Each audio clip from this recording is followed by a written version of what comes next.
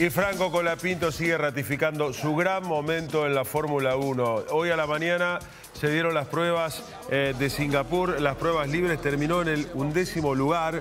Eh, te voy a eh, marcar el dato del tiempo. 1.32.618 a menos de un segundo del 1.31.763 que hizo Leclerc con la Ferrari a menos de un segundo de la Ferrari. Leclerc que, ganó el otro día. Leclerc que ganó el otro, día. Norris, Lando Norris segundo, Carlos Sainz tercero con la Ferrari, pero con la Pinto terminó undécimo.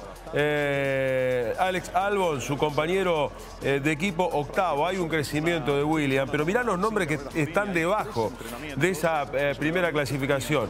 12 Hamilton, 14 Checo Pérez, 16 George Russell, que es el otro Mercedes, digamos.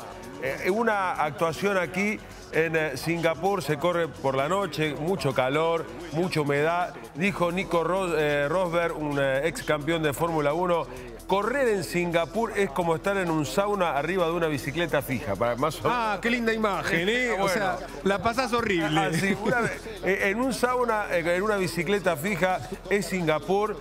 hay mucho problema de, agotamiento físico, se tiene que hidratar, pero realmente no deja de sorprender lo de Franco Colapinto. Eh, pruebas, primeras pruebas que se dieron a las seis y media de la mañana en nuestro país eh, y que tendrá una nueva tanda de entrenamientos ahora, cuando termina el programa a las 10 de la mañana. La escenografía, ¿no? Para... bueno.